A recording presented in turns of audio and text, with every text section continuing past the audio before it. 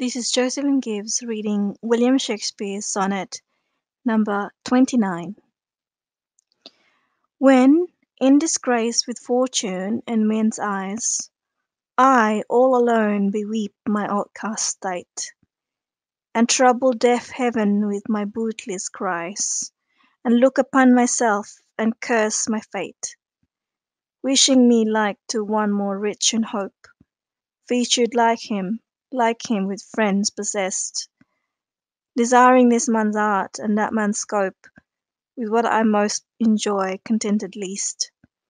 Yet in these thoughts myself almost despising, Haply I think on thee, and then my state, Like the lark at break of day arising, From sullen earth sing hymns at heaven's gate. For thy sweet love remembered such wealth brings that when I scorn to change my state with kings. So in this sonnet, it's slightly much more hopeful and positive compared to sonnet 28, which is very depressing. And in this sonnet, it basically shows us that when I'm in disgrace, this is what the first few lines are saying. When I'm in disgrace with everyone and when I'm out of luck, I sit all alone and cry with self pity, and bother God with useless cries which fall on deaf ears, and then look at myself and curse my destiny, wishing that I had more to hope for, wishing I had those wealthy men's assets and friends, this man's skills and that man's opportunities, and totally dissatisfied with things I usually enjoy the most. Yet I'm thinking these thoughts and almost hating myself. I happen to think about you, and then my condition improves. Like a lark at daybreak, rising up and leaving the earth far behind to sing hymns to God.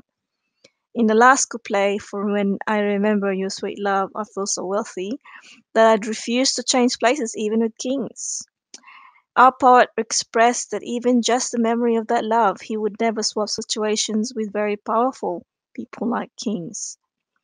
The strongest literary device here is imagery, wherein the author uses words and phrases like um, featured like him, like him with friends possessed, desiring this man's art and that man's scope.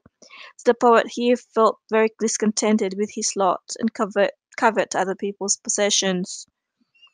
So the authorial interruptions also is used here in the last couplet, which is a literary device that is used by the author to say exactly what he thought at the point of emphasis as in haply I think on thee, and then my state, that when I scorn to change my state with kings.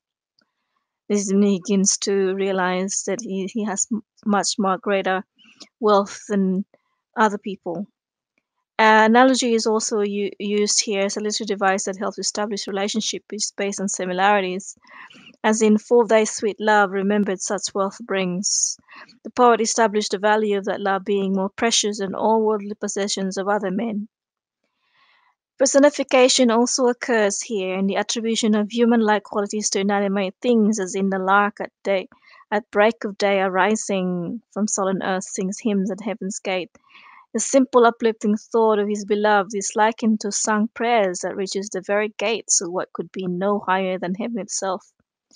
Uh, Our simile is quite incredibly poetic in the way that the author likens something to another thing, as in the lark, the lark of break of day arising from sullen earth, and wishing me like to one more rich in hope. Here the poet is conveying the grandness of simply the act of thinking of his beloved gives him wings to greet a new day. Or another way of saying more hope is given to him by the beloved's memory alone. So this is incredibly uh, positive and more inspiring to us reader um, compared to previous um, sonnets. So sonnet 20, this is sonnet 29, interpretation analysis in terms of the use of literary devices. I hope you have gained something from this and listening to this video. Please subscribe if you haven't already done so. Thank you so much and take care.